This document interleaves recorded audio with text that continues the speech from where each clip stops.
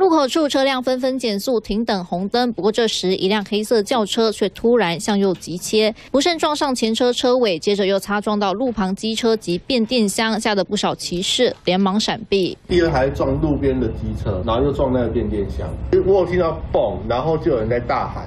就家庭车的意思，他就直接往那个那个什么七方那边开了。夸张的是，驾驶撞了人，第一时间非但没停车，甚至还加速闯红灯逃离现场。事发就在十八号傍晚五点多，新北市板桥大关路三段及笃行路二段路口，警方调查这名驾驶竟是无照上路。当天他偷开爸爸的车要去泸州找朋友，没想到才刚出发五分钟就一连撞了三台车，担心东窗事发，赶紧加速逃离，没想到几分钟后就因车。速过快，自撞分隔岛，被警方逮个正着。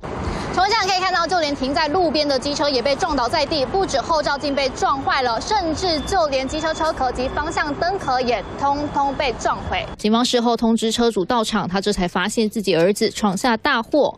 只是钥匙明明就在身上，怎么车还会被偷开走？原来早在今年初，他就已经偷偷拿走备份钥匙，让做父亲的又气又无奈，决定提出窃盗告诉，铁了心要让儿子学到。教训。三新闻正常来新以新北采访报道。